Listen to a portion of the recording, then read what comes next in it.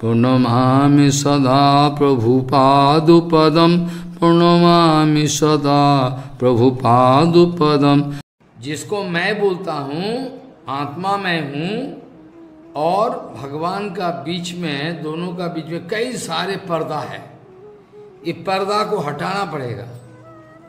हटाने का बाद हम भगवान के द्वारा आकर्षण ज़रूर अनुभव करेंगे। उसका पहले नहीं।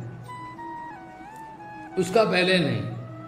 ठीक ऐसे ही शिव भगवान, सेवनमुख, शिव भगवान, सेवनमुख, सेवक का सेवा में आनंदित होता है और कृपा करता है।